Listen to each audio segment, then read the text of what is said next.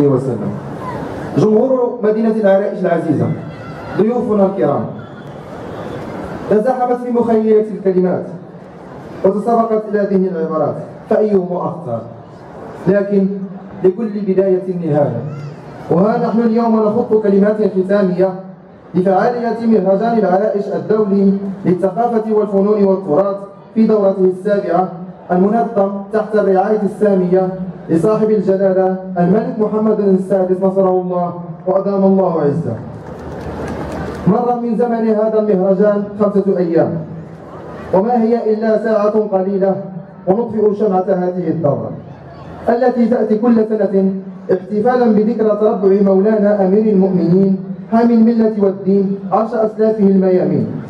احتفالنا هذه السنة تشاطرناه مع جمهورنا العزيز الذي كان وفيا كعادته.